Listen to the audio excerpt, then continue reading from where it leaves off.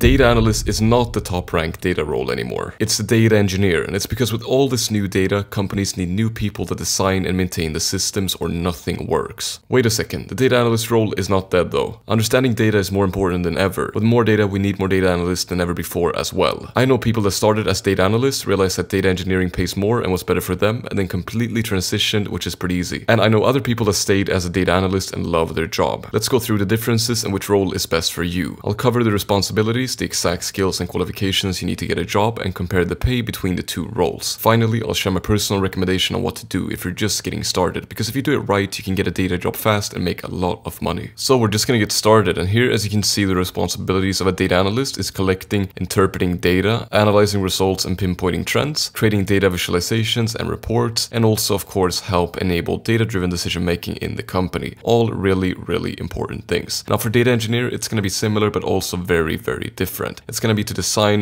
build and maintain data architecture, manage data pipelines and ETL, extract, transform, load processes, also ensure that all the data is of highest quality, ensure that it's available and also that it's accessible to everyone that needs to have the data. Data engineer will also monitor and optimize system performance and all of this is really important because if the data isn't stored properly, if it's not maintained properly, then a data analyst or data scientist or machine learning engineer cannot use the data in an effective way, which is why data engineer really laid the foundational work. Now I do want to warn you that you should definitely read the job description because responsibilities can vary a lot, especially when it comes to data analysts. Now when it comes to getting a data analyst job, here are some of the qualifications for a entry-level job in data analysis. First of all, we have some knowledge of programming languages like SQL, we have proficiency in Excel, which is really important. If you're not proficient in Excel at this point, then what are you doing? Plus you can also use tools like ChatGPT to basically do everything in Excel. You can just ask it to do something and it's going to give you a really nice formula. Plus you need some presentation skills to actually present the information to stakeholders and visualize it. And also of course a bachelor's degree is preferred according to this listing, but it really depends. This listing actually talks about strong conscious leadership skills, but I don't really think that's a very strong thing in data analysis in general. But problem solving skills are really, really important. Now as you can see this list is much longer. We have the data engineer, which is first of all you need SQL, but this is just one example of a job listing that I found on Indeed, so it doesn't necessarily have to look like this for every single job. It just depends on this one job role. In this case, you need to understand the Azure data platform. You should know Power BI and Python. I'm not really going to go deep into the other stuff because it really depends on the company, but it's just going to be really important to understand databases a lot, understand a cloud platform, and also understand SQL and Python. And that's when we get into the actual qualifications. So for data analyst, you'll need preferably a bachelor's degree, but you don't always need it because it really depends on the job listing. Data analyst is one of the few entry-level jobs in data, and you don't necessarily need a bachelor's degree, but it's really going to help you a lot, and some listings do require it. Preferably, it's in a quantitative field, for example, computer science, math, finance, and statistics, because you get taught a lot of the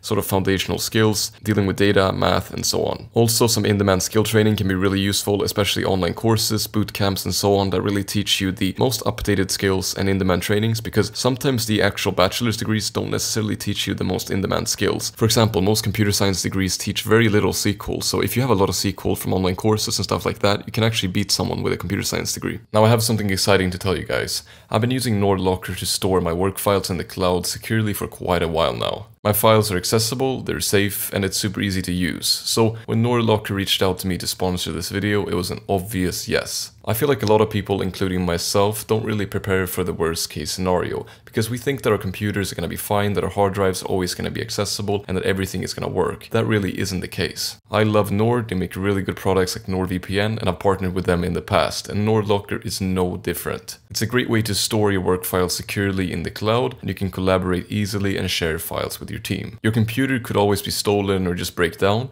and it always feels good knowing that my files are safe and secure, even in the worst case scenario. NordLocker is super affordable and for just a few bucks you can get 500 gigabytes of cloud storage and all of their premium features. So if you're looking for a secure and easy to use file encryption solution, I highly recommend NordLocker. I guarantee that they have a plan that's going to work for you and plus they also offer a free trial of their business plan. I'll leave a link in the description to that. So again, thank you to NordLocker and now let's get back to the video. For data engineer, you'll actually need a bachelor's or master's degree. Now if you do have a lot of experience, for example as data analyst or something like that, you can definitely transition without a bachelor's degree. But if you're just getting started, honestly, I would say that a bachelor's degree and master's degree is usually going to be needed. It depends on your position, of course, and your experience, but I do recommend that you start out as a data analyst if you don't have a lot of experience, because essentially you need a lot more qualifications to become a data engineer. And you also need a strong technical background because you need to understand everything. Data is really important, but now you're not just going to be analyzing data, but you're also going to be maintaining the data, making sure it's clean, making sure it's good, making sure it's well stored. To accomplish all of these things, you'll also need strong programming skills, usually in Python and SQL, but it can also be other languages if you need so. And here's a way to visualize everything that I want you to take a look at. So as you can see, we have the foundational data engineer in the bottom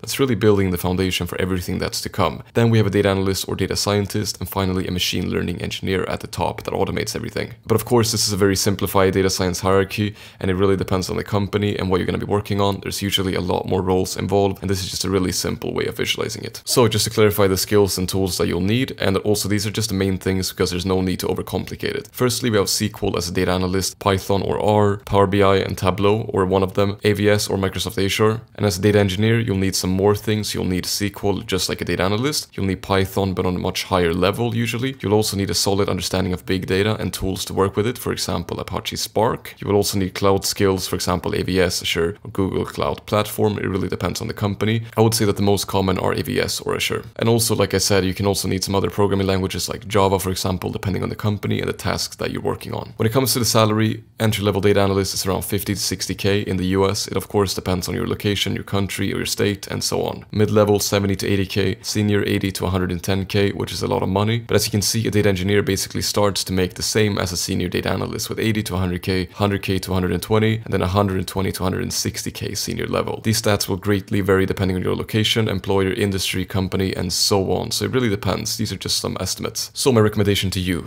you should become a data analyst if you're someone who is really interested in interpreting data and finding trends, if you enjoy working with numbers and statistical analysis, and if you're more inclined towards like business decisions and reporting rather than the super technical stuff. And as you can see, those aren't a huge fan of math and programming. For data engineer, it's really those who are interested in the technical aspects of data handling, its generation, storage, and processing, and also people that have really strong coding skills and system design skills. And also, it does take some higher technical requirements to get your first job, so I would say that if you're just starting out, you should probably look into another data role. Check out the links in the description if you want help to become either a data analyst or data engineer. Check out this video right here to learn more about becoming a data analyst.